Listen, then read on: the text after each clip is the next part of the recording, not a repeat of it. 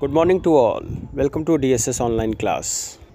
Welcome again to class 9th, 4th chapter Basics of Operating System.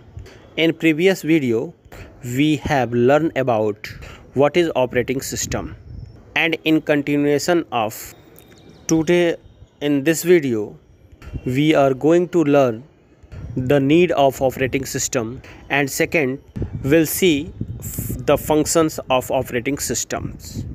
Before starting these two topics let's discuss the goal of operating system.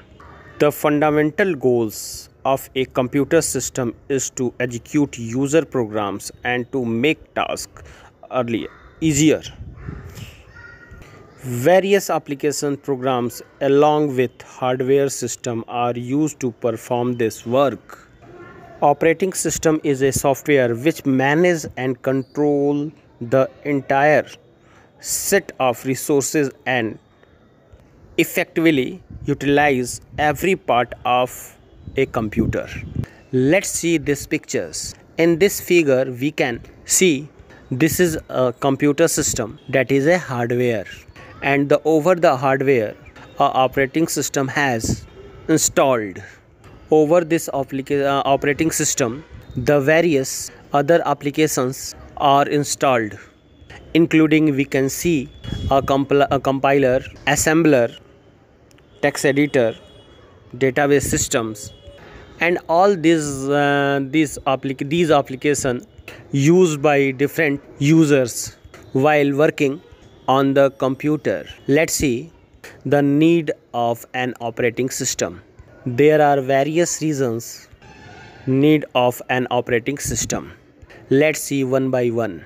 Number 1 we need operating system because recognize and installs peripheral peripheral devices. Peripheral means all external devices including printer scanner joystick external hard disks any external device that is called peripheral device okay number 2 manage file and folder number three, uh, 3 it shares out system memory that means it share the system memory to different applications as for the requirement. It handles system errors and alternate users, not uh, alternate alerts users. Sorry for that, alerts users. Okay, whenever uh, any occurs errors, it handle it and provide appropriate alert to the user. Then it manages all the system security. It allows the software to communicate with the hardware. And it also handle all the inputs and outputs. So these are the major reasons we need for the operating systems. Okay now function of an operating system. Operating system has some has a functions. The func uh, first function of op uh, operating system is process management. And process management includes two things. The first the system process and second one is application process. Second function is file system management. Third is memory management fourth security services and next one is hardware device input and outputs. Controlling hardware devices including input and output devices okay? And these hardware divided in uh, devices include first is data storage devices second is media protection and capture and third is network communications. Now we will discuss all the functions one by one in brief let's let's see uh, first is process management okay? That is the major function of operating system.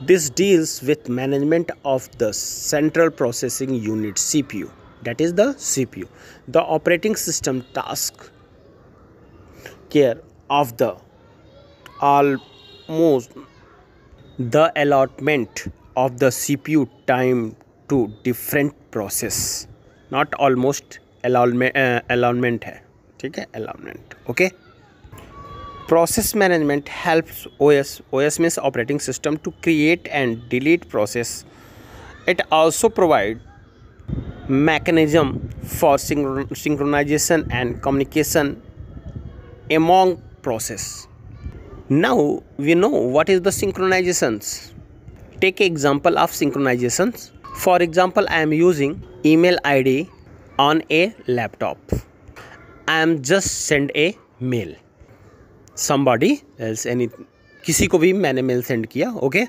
send work completed i have done already done okay over my laptop and same things i am doing in also my mobile also मैं mobile से भी यही काम same कर रहा हूँ okay this is the called the synchronizations and this synchronization फिर दोबारा से देख लो। Suppose that I am send the mail over the laptop मैं अपने लैपटॉप से मेल सेंड कर रहा हूँ, ठीक है? And same work I have done over my laptop through my email is being display over my mobile phone also this is called the synchronization and this synchronization of data two devices over the two network is being done through the operating system.